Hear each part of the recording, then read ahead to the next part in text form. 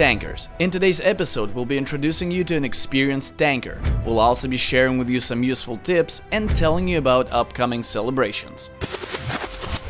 Do you have a life hack that can make life easier for every tanker? Do you want to hear your name in the vlog? Find the link to the special form in this vlog's description and submit your tip. We'll be sharing the best ones in upcoming episodes. The first life hack comes from our Russian community manager Maxim Husainov. Hey guys, I have two other accounts besides my primary. I use them for shooting videos and playing at lower ranks. To avoid having to enter different passwords every time, I add a word and dot before the link.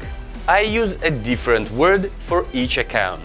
For Intense, here I added Kasim dot before Tanki Online in the link. For this link, I chose the option to remember the password.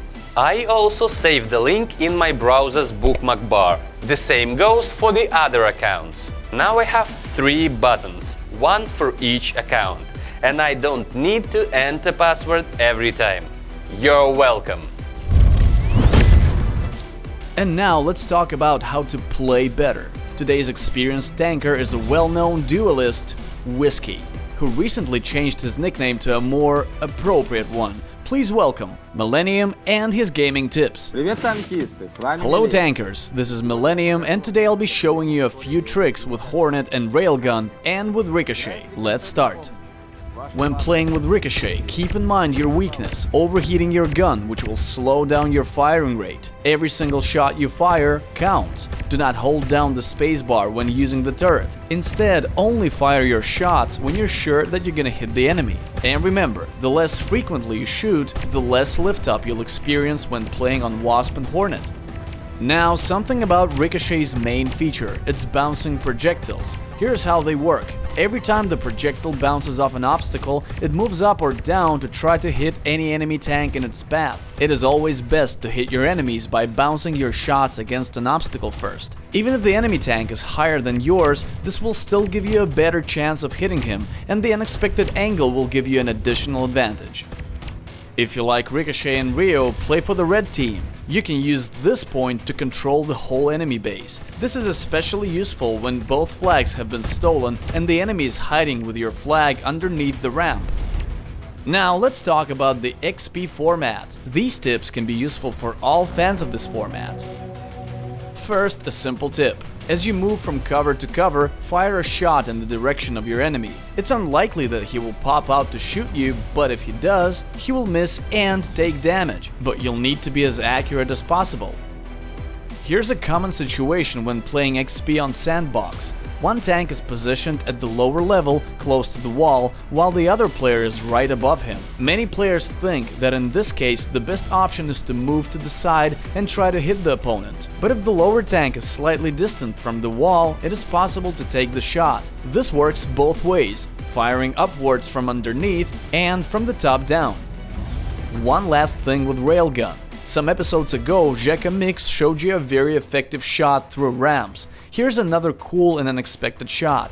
It is possible to hit an enemy who is going up the ramp on the red base from this point in the blue base. It's much more complicated than shooting through a ramp, but you can be sure that the opponent won't be able to get you from there, and your shot will be completely unexpected. That's it, Tankers. This was Millennium. Good luck in the arena. Time for the video of the week. Last time, the theme was the skillful use of mines. Let's see what we've got.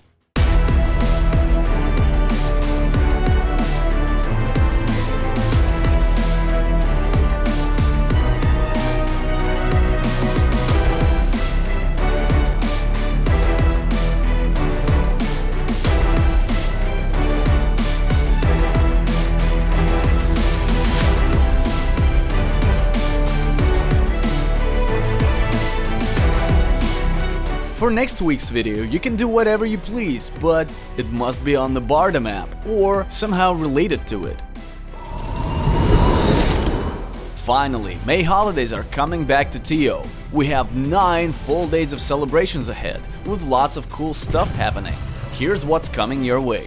From the 1st to the 9th of May, battle funds will be gradually building up to double. But it wouldn't be a real celebration without the discounts that you love so much. We'll start on day 1 with a bonus to every purchase of crystals, then discount on paints, hulls and turrets. And to keep up the holiday vibe, you'll be able to send special gifts to your fellow tankers. These include 3 badges that you can send anytime during the holidays and 2 special gifts exclusive to the last 2 days of celebrations. So celebrate, play and send gifts to each other. This is it tankers, get ready for the May holidays. By the way, we will not be having a vlog next Friday. We've decided to not distract you from the big battle fund. Seriously though, the vlog team just needs a good rest. See you again in two weeks time on the 13th of May.